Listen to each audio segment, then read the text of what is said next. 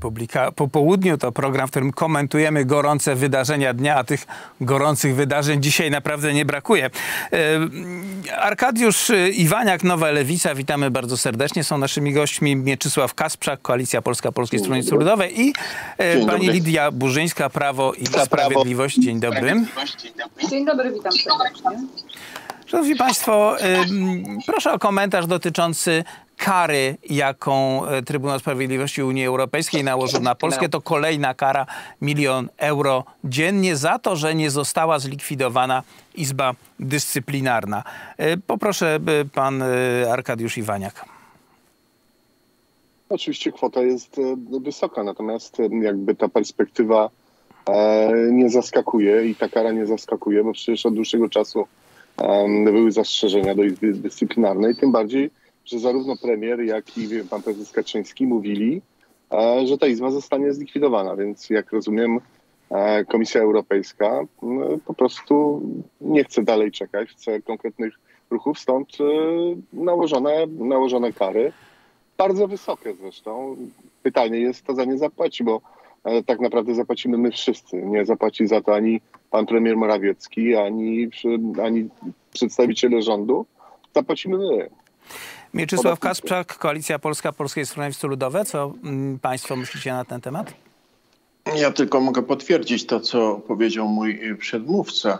Y, To jest kara na życzenie, bo tak jak y, w przypadku Turowa, to mamy trudną sytuację i tam możemy, możemy dyskutować. Natomiast tutaj w tej sytuacji, której dzisiaj jesteśmy, to wszyscy wiedzieli, co nas czeka i od dłuższego czasu rząd miał tą świadomość i mówił, że zawiesi, że zlikwiduje, że przeprowadzi roz, e, zmiany w systemie sądownictwa, że cała minister Ziobro przecież mówił, że ma całą szufladę e, projektów. Nic się nie stało, żadnego kroku nie zrobiono w tym zakresie, więc to jest, e, uważam, że kara na życzenie i to Polacy zapłacą za to, bo to są duże e, pieniądze. Obawiam się, że tej kary nie uda się uniknąć, bo to już jest e, wyrok praktycznie i, i to trzeba będzie płacić, a mogliśmy to, skoro takie zamiary są, bo ja cały czas słyszę, że takie zamiary są, że reforma nie wyszła, e, że to trzeba zlikwidować, e, zmienić, to po co było tak długo przeciągać? Lidia Burzyńska, Prawo i Sprawiedliwość. Panie redaktorze, panowie posłowie, szanowni państwo. Przede wszystkim tutaj musimy sobie powiedzieć jedno jasno, deklaratywnie, że przystępując do Unii Europejskiej, czyli do Związku Państw Suwerennych Niepodległych, e, również e, część uprawnień dla wspólnego gospodarowania, dla lepszego funkcjonowania delegowaliśmy e, na rzecz instytucji Unii Europejskiej. Ale w tym zarówno y, y, panowie, jak i państwo wiecie, w tych delegowanych obowiązkach nie było sądownictwa. E, Szanowny panie z Polskiego Stronnictwa Ludowego, jak i również Mieczysław e, pan z Kasprzak. Lewicy, tak, bardzo miło. E, Nie można mówić, że na życzenie. Na życzenie to my mamy e, taką sytuację w Unii Europejskiej, że w Parlamencie Europejskim e, polscy eurodeputowani, wybrani w Polsce, wybrani, aby służyć Polsce i polskim sprawom, jako pierwsi kłamią, bo to wystąpienie w Parlamencie Europejskim na temat braku praworządności w Polsce jest po prostu kłamstwem. I ja bardzo dziwię się, że państwo w Parlamencie Krajowym również macie tę odwagę mówić, że e, Polska łamie prawo. Nie, sądownictwo jest indywidualną sprawą każdego państwa Pani poseł, jedna, jedna rzecz, jeśli ja można. powiem jedno, jeszcze jedno tylko zdanie powiem, że my jesteśmy za silną Euro Unią Europejską, ale również i za silną Polską.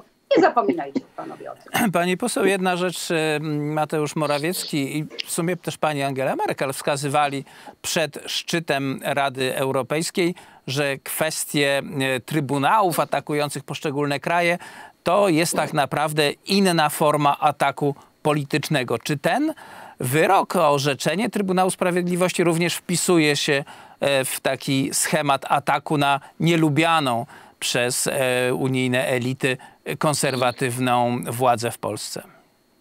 Oczywiście, jak na dłoni widać to, że jesteśmy takim chłopcem do bicia w Unii Europejskiej, albo inaczej. E, my bardziej byliśmy wygodnym państwem członkowskim, będąc przedmiotowym, a nie podmiotowym, pełnoprawnym państwem Unii Europejskiej. Ja nie wiem, co tak bawi pana posła, ponieważ uważam, że my jako Polacy i nasze dobrowolnie, bo większość Polski chciała wstąpić do Unii Polaków i również teraz ponad 80% e, Polaków chce być w Unii, ale w Unii, która będzie traktowana nie Unii dwóch prędkości, nie Unii, która jedne trybunały konstytucyjne e, orzekają i z tego tytułu, że nie ma żadnych, że tak powiem, reperkusji, a Polska cokolwiek nie zrobi w granicach prawa, bo wy, e, e, opozycja zarówno ta krajowa, jak i w Unii Europejskiej chce jedno, aby, si, aby siłą było, pra, siłą było prawo, a nie prawo siłą. Tak nie można. Tak po prostu nie można, bo to jest niegodne, nieuczciwe i e, haniebne w stosunku do wyborców. Mhm. Y, Mieczysław Kasprzak, e, Koalicja Polska, Polskie Stronnictwo Ludowe. Pan widzi e, polityczne motywacje tego wyroku? Jeśli tak, to jakie one przyniosą skutki? Ja nie widzę tutaj politycznych motywacji, tym bardziej, że rząd. To jakie są motywacje w takim razie? Przyznaje, to są merytoryczne. Merytoryczne, dlatego że e, system sądownictwa E, Izba Dyscyplinarna e, od dawna, od początku, od momentu jej powstania jest kwestionowana i wszyscy o tym wiedzą. I rząd się z tym zgodził i rząd deklaruje I wprost, że, że będą zmiany. No to jeżeli będą zmiany, jeżeli od roku się o tym mówi, szanowna pani poseł, to po co dać się spychać i wpychać w taką totalną wojnę i jeszcze mówić, że idziemy na trzecią wojnę światową, jak wiecie, że chcecie to zmienić. To albo chcecie Ale... to zmienić, albo nie chcecie to zmienić. Niech mi pani da skończyć. A co do drugiej e, prędkości, to mieliśmy szansę być właśnie w tej pierwszej e, prędkości, jak pani mówi, chociaż ja tam nie widzę różnych prędkości, ale zasiadać przy głównym stoliku, przy tej e, czwórce. Nie skorzystaliśmy z tego. Kiedy Wielka Brytania wyszła, trzeba było szybko zająć to miejsce. Byliśmy w tej grupie mocnych państw, państw które, dużych, które mają ogromne korzyści z przynależności do Unii Europejskiej, bo, bo środki, jakie dostajemy, to są największe ze wszystkich państw. Natomiast myśmy z tego nie skorzystali. No, wywołujemy wojnę. Ja już y, nie wnikam w szczegóły, ale y, jeżeli coś się zaczyna dziać na linii Polska-Unia Europejska, to Polska mówi, no przykład z ostatnich dni, wojnę, mamy trzecią wojnę światową. To oczywiście nie chodzi o strzelanie do siebie, ale pokazuje, z jakiej pozycji my startujemy i, i jaki mamy cel. Nie siadać do stołu i negocjować, tylko prowadzić cały czas wojnę. Tak daleko nie zajdziemy. Arkadiusz Iwaniak, Nowa Lewica. Mm, panie pośle, y, Prawo i Sprawiedliwość, prawnicy wskazują na to, że kwestie y, regulacji Układu Sprawiedliwości w każdym kraju członkowskim są poza zakresem działalności organów Unii Europejskiej. To nie tylko e, pakt lizboński, ale specjalnie podpisane wtedy tak zwany e, brytyjski wyjątek, do którego się Polska dołączyła. Czy w takim razie Trybunał Sprawiedliwości Unii Europejskiej przekracza traktaty europejskie, atakując Polskę, czy to w przypadku Turowa. To jest oczywiste naruszenie wszelkich możliwych procedur, ale również tutaj odnosi się do regulacji y, systemu sądownictwa, do którego odnosić się nie ma prawa. Panie doktorze, nim odpowiem, to tylko tak zupełnie z historii dla przypomnienia, bo pani poseł ładnie się odwołała do tego, że Polacy chcą być członkami Unii Europejskiej to przypomnę, że państwo byliście sceptykami wstąpienia Polski do Unii Europejskiej. No nie, to akurat tak było odwrotnie. Akurat PiS był, no, akurat PiS był zwolennikiem wstąpienia do Unii jeszcze zanim pojawiło się takie hasło, panie pośle. Proszę spojrzeć publikacje lat 90. Zanim, zanim powstało takie hasło, to, to nie wiem, czy Prawo i Sprawiedliwość było. Ale to było wtedy porozumienie centrum, jak pan doskonale pamięta, ale to może jest wiedza, którą nasi widzowie mają, więc niekoniecznie jest sens tutaj przyprowadzać ją, przy, przywoływać. Panie redaktorze, wracając do pytania. Po pierwsze, nikt nikogo nie atakuje, więc dobór słów pana strony jest e, kompletnie pokazujący e, jakby też nasze nastawienie. Po drugie, po drugie, oczywiście ja się w pełni zgadzam, że jeśli chodzi o wymiar sprawiedliwości, on pozostaje w gestii każdego z państwa. Ale państwo, znaczy Prawo i Sprawiedliwość, poprzez Izbę Dyscyplinarną stworzyliście aparat nacisku na sędziów, którzy są wam niewygodni. I Unia Europejska powiedziała w ten sposób: Nie może być tak, że wymiar sprawiedliwości będzie zależny, ubezwłasnowolniony, a sędziowie nie będą mogli podejmować decyzji zgodnie z prawem. A na podstawie więc- jakich a dokumentów, skoro zasada- zgo- powiedział pan, a że więc zasada, panie doktorze, jeśli pan pozwoli, bo nikomu pan nie przerywał, tylko opozycji pan przerywał. Ma pan straszną tendencję do takich jestem okropny w ogóle, to zgadzam się. Nie, bez, bez przesady, tylko po prostu to stwierdzam fakt. Natomiast jeśli chodzi o tą praworządność, ona jest zapisana e, no, i my się pod nią podpisaliśmy. To po pierwsze. Po drugie, e, jeśli chodzi o tą przestrzeganie praworządności, a więc praworządność to możliwość, żeby sędziowie orzekali w sposób niezawisły, niezależny, zgodnie z, z przepisami prawa. Zgodził się na to premier, e, że finanse nasze, które mamy otrzymać z Unii, będą uzależnione od praworządności. Przecież ta zależność została e, podpisana i na to się zgodził premier. Co prawda mówił, że No ale tu chyba pan i miesza tak dalej, dwa, tak dwie sprawy, prawda? No, no, Miesza pan. Nie mieszam. Nie, no nie mieszam. Co bo- bo- innego bo jest wiemy- Krajowy Plan Odbudowy, a co innego e, wtrącanie się, czy też regulacje Trybunału Sprawiedliwości w Nie, system panie. Sprawiedliwości. To są dwie Nie, zupełnie to nie różne nie jest rzeczy.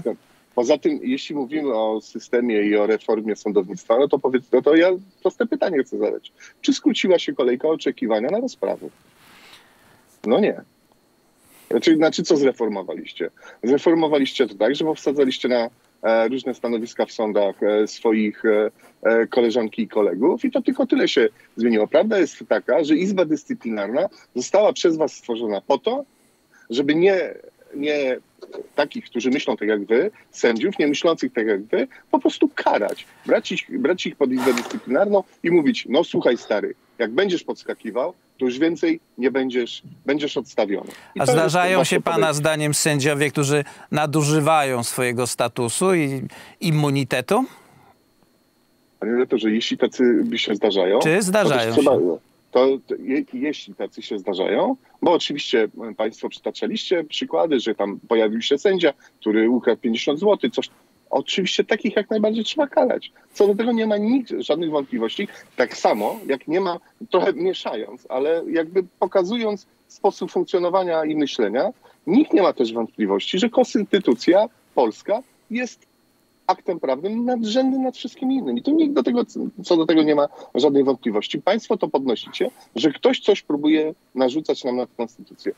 Po prostu nieprawda. Wszędzie widzicie wroga, wszędzie widzicie okupanta. Przecież to jest wasza retoryka po to, żeby e, wasz wyborca czuł potrzebę chociażby napisania ustawy o obronności, tworzenia murów i wszystkich innych rzeczy, bo chcecie wprowadzić taką aurę, że jesteśmy zewsząd atakowani jakby chociażby To w takim razie zmieniamy temat.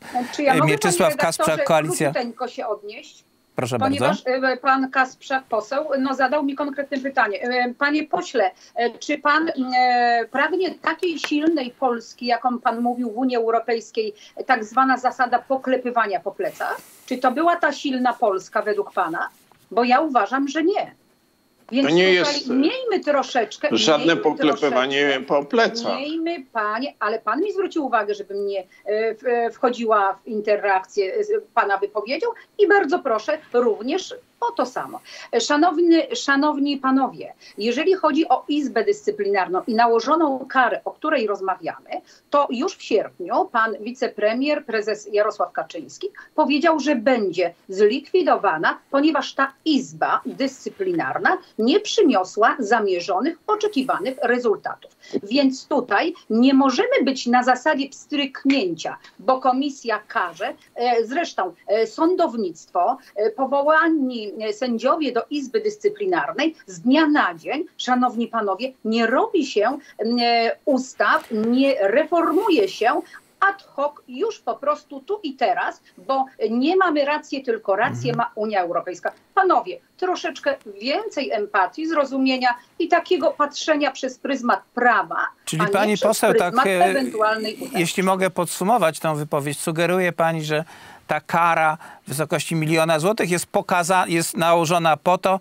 żeby pokazać, że Polska ma się ukorzyć przed Oczywiście. Trybunałem Europejskim, a nie stawiać się i opowiadać, że nie będziemy pozwalać tutaj na przekraczanie traktatów przez instytucje europejskie. To, co było w zeszłym tygodniu. Czy to jest taka reakcja na nasze y, polskie stanowisko.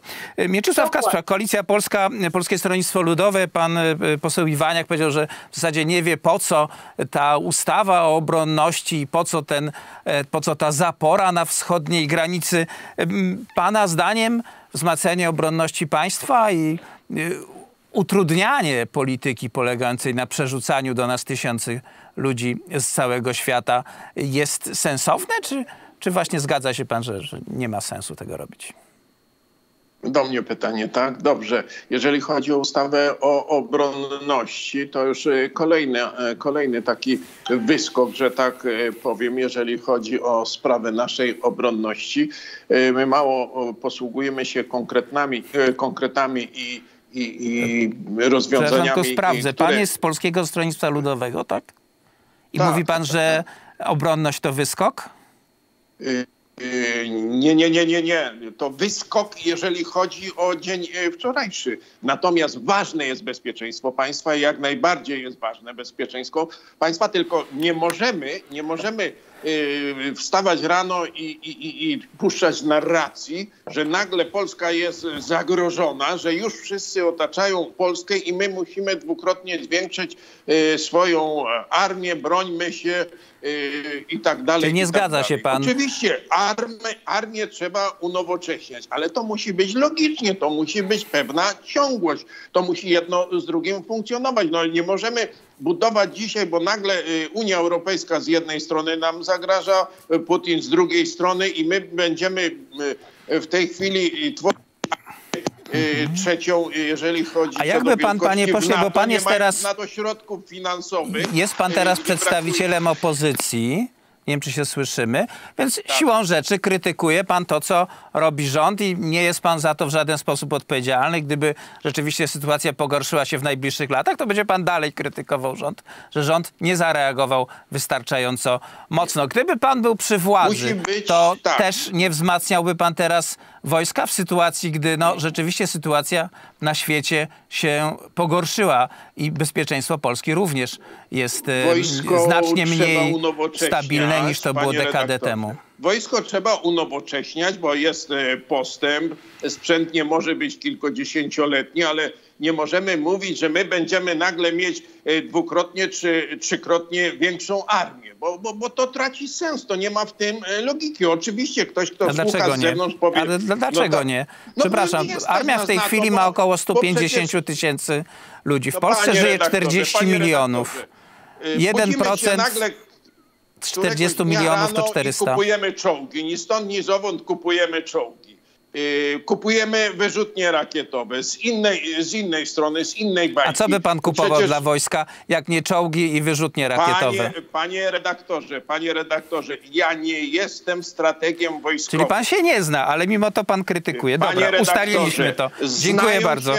Lidia Burzyńska, Prawo i Sprawiedliwość. tym, Znają się fachowcy Ale i ja nie pobieram ja bym mógł się do tego.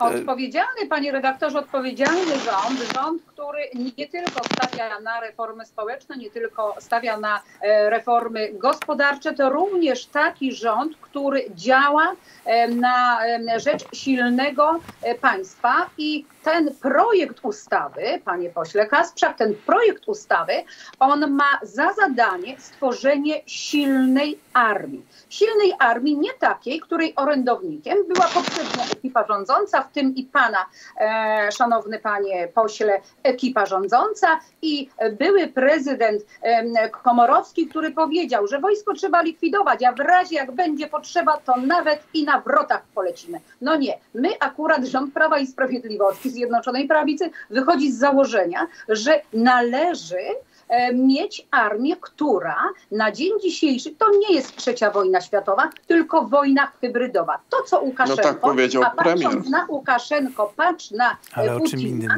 który ma zapędy, który ma zapędy imperialne, o czym pan wie, ciągle są szkolenia i między innymi przerzucanie imigrantów e, na, do Polski i do Litwy. I powiem jedno, ja nie tak dawno byłam na em, granicy białorusko-litewskiej i e, rozmawiałam między innymi e, z parlamentarzystami e, właśnie litewskimi. I wiecie panowie, jaka różnica jest, mimo że atakują również imigranci nielegalni, są przerzucani przez stronę białoruską z Mińska e, na e, Litwę, e, ano taka, że oni tam jako opozycja, jako rządzący są razem. Są za tym, aby imigrantów nielegalnych nie przerzucać dalej, bo oni nie chcą być W tej sprawie zgłaszał się do głosu pan poseł Iwaniak. Prosimy bardzo, Nowa Lewica. Tak, panie redaktorze, na początek chciałem zaprotestować, bo pan redaktor powiedział, że przed wypowiedzią pana posła Kacprzaka, że ja kompletnie, że ja nie wiem po co jest ta sprawa. Tak samo ten, ten mur i zasieki na Białorusi, wręcz przeciwnie, ja przecież dość wyraźnie powiedziałem, po co to jest robione, po to, żeby stwarzać pewną atmosferę zag- zagrożenia. To po pierwsze. Po drugie, Znaczy, e, ale wie pan, no to jest, opozycja- abstrahuje pan od faktów, no więc mówi pan, że, że, że, że, że fakt jest przyczyną, że, że, że przyczyna jest skutkiem, tak? Najpierw było zagrożenie na granicy, a potem były te wszystkie akcje, które tam się w tej chwili dzieją, a nie odwrotnie. Nie będę przytaczał tego, co powiedział e, przysypiający wczoraj prezes Prawa i Sprawiedliwości. Jeszcze proszę powiedzieć, że miał że źle zega- jak- zegarek nałożony. że jak, że jak, e, jak jest e, pokój, to trzeba robić wojnę. No, nie tylko szykować się na wojnę, Nie, ale no ja właśnie. rozumiem, No przecież rozumiem, powiedział że to co powiedział. Nie, Zacytował to, co Proszę sobie odsłuchać i wtedy Państwo zobaczycie. To po pierwsze, jeśli chodzi o oczywiście o tą ustawę, to tak, po pierwsze ona powoduje to, że będziemy zadłużać e, to państwo. PG, em, e, PGK będzie oczywiście e, obligacje, poręczenia i tak dalej, a więc e, będziemy zadłużać po to, żeby nagle stworzyć e, wielką polską armię. To, po pierwsze. Po drugie, ten wspomniany bank ma również e, finansować Polski Ład, więc tak naprawdę pytanie jest, kto będzie za to wszystko płacił. Jestem za silną armią, taką, która będzie broniła naszych granic, będzie broniła bezpieczeństwa obywateli. Natomiast przez 6 lat, przez 6 lat Prawo i Sprawiedliwość twierdziło, że 150-tysięczna armia jest wystarczająca. Co się wydarzyło? Bo proszę mi nie mówić, że kilkuset uchodźców, imi- imigrantów powoduje to, że musimy dwukrotnie zwiększać To armię. ja tylko zapytam, czy pierwsze. słyszał Po pan, drugie- co się dzieje na przykład między Chinami a Tajwanem? tak na świecie od Tak, dłuższego tak, czasu się dzieje nie najlepiej. Czy pana zdaniem e, Czy atak Chin lat, na Tajwan ewentualny wpływa na bezpieczeństwo Polski, czy nie? Wszystko, co się dzieje na świecie wpływa na nasze ogólne bezpieczeństwo. Czy akurat na Polskę? E, Nie wiem, czy to będzie miało bezpośrednie przełożenie, panie redaktorze, ale te rzeczy dzieją się, nie tylko te, nie te wspomniane konkretnie, żeby mnie pan nie ciągnął za, za słówka, dzieją się od dłuższego czasu. Przez 6 lat ten rząd tego nie dostrzegał. Nagle się obudził, bo trzeba, doku- tylko co ze sprzętem? Przecież można było przez 6 lat unowocześniać tę armię. To się nie działo. Nagle teraz Jak mamy się nie zwiększyć działo? dwukrotnie.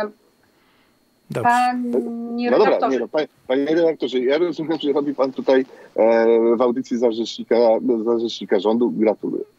Nie, ja robię za rzecznika faktów. Może pani poseł No. Lidia Burzyńska. Nic się nie działo przez 6 lat w sprawie unowocześniania armii. Taka teza padła przed chwilą. Zanim, zanim się do tego odniosę, to bardzo niegrzecznie, e, szanowny pan podsumował wystąpienie wczoraj pana e, wicepremiera Jarosława Kaczyńskiego, bo równie dobrze mogę dzisiaj powiedzieć, że pan no, w trakcie podróży em, e, jest, e, e, bierze udział w audycji. To jest było niegrzeczne, nieeleganckie, nietaktowne, ale przejdźmy do rzeczy. Przez sześć lat pan mówi, że nic nie zrobiono dla wzmocnienia. A czy wojska obrony, wojsk, e, wojska obrony terytorialnej, panowie, było zakaże, był koronawirus, e, były powodzie. Jest teraz między innymi pomoc na granicy. I pan mówi, że rząd Prawa i Sprawiedliwości nic nie zrobił w kierunku, w kierunku wzmocnienia armii. Szanowny panie, było 150 tysięcy żołnierzy, ale nie było teraz jest właśnie Łukaszenko, Putin robi wojnę hybrydową. Wojna hybrydowa to nie jest tylko, tak jak pan Ale mówi, kilkaset osób, imigrantów przejeżdżających, e, przechodzących w nieuczciwy sposób, nielegalny, bo Polska jest tym krajem, który przyjmuje i patrz tutaj, ponad 3000 obywateli Białorusi, gdzie Łukaszenko e, e, prześladował tych ludzi, opozycję Polo, Polaków. Natomiast ci ludzie, którzy dostają się z Iraku w sposób legalny, turystyczny, bo pan doskonale wie, że od 2 do 12 tysięcy o-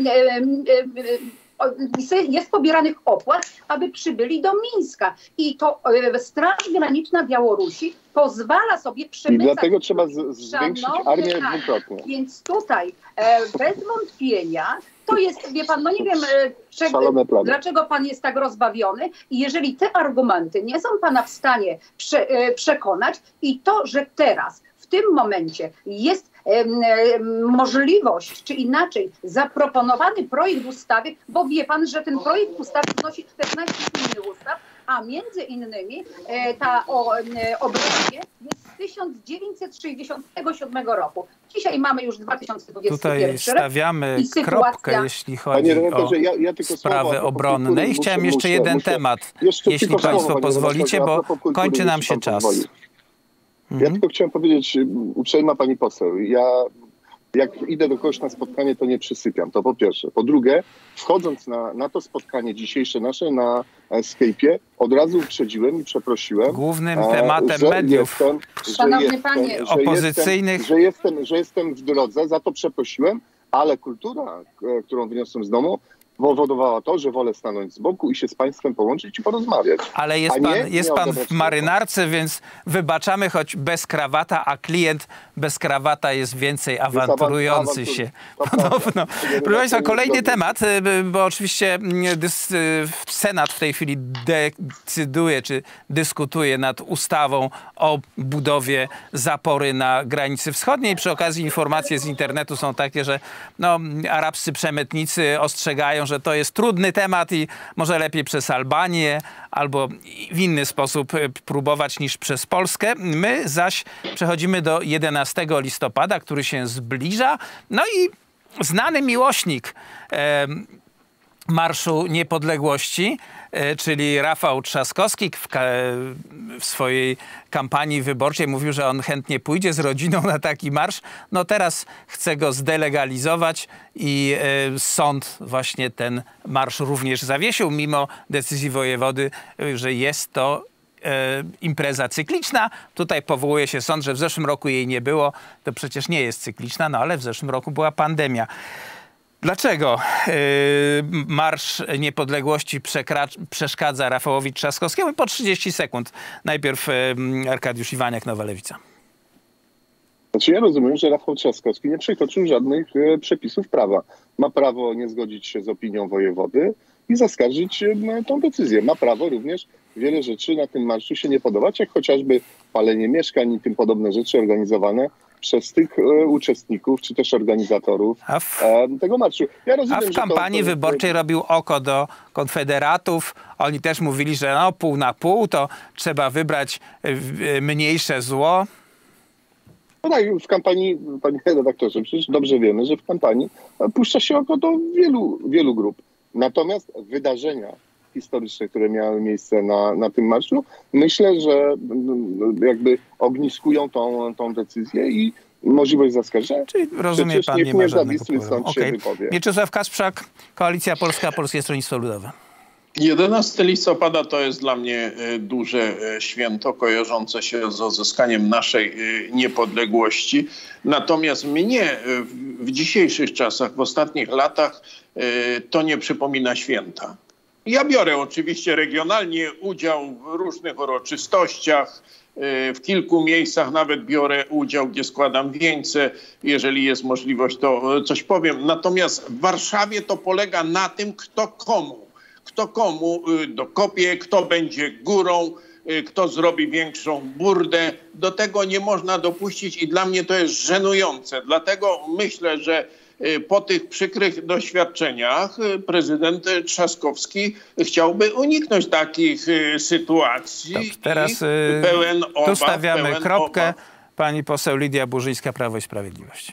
E, Dla mnie 11 listopada jest to bardzo ważny dzień, bo jest to symboliczna, symboliczna data odzyskania przez Polskę niepodległości. E, Ja rozumiem, że, że e, panowie nie uczestniczą w tych warszawskich marszach 11 listopada, tylko w regionalnych. Ja uczestniczyłam i muszę powiedzieć, że o takich burdach, dwa lata temu o takich burdach, o których mówicie, ja nie słyszałam. To po pierwsze. Po drugie, no niestety pan prezydent Rafał Trzaskowski no, chciał z jednej strony chciał zaistnieć i powiedzmy wyróżnić się jako włodarz miasta stołecznego Warszawy, stolicy, ale z drugiej strony tak naprawdę nie przeszkadza mu innego rodzaju zgromadzenia chociażby 10 e, tego miesiąca, które było zorganizowane przez pana e, e, starego, nowego przewodniczącego koalicji Platformy Obywatelskiej, który zorganizował e, przed e, katedrą e, e, spotkanie. Więc Bardzo tutaj to jest pięknie. takie déjà vu dwukrotne. Musimy tu postawić e, dwukrotna prawda według- w kropkę, wydaniu relacje czy informacje na temat stanowiska Rafała Trzaskowskiego wobec Marszu Niepodległości sponsorowała literka, H jak hipokryzja, a to koniec naszego programu i za udział dziękujemy pani poseł Lidii Burzyńskiej z Prawa i Sprawiedliwości, Arkadiuszowi Dziękuję. Iwaniakowi z Nowej Lewicy i. Mieczysławowi Kasprzakowi, Koalicja Polska, Polskie Stronnictwo Ludowe. Dziękuję To bardzo. Tyle za momencik, proszę Państwa. E, przed kamerą siądzie e, Michał Trześniewski z najwcześniejszymi, z najnowszymi informacjami, więc zostańcie z nami.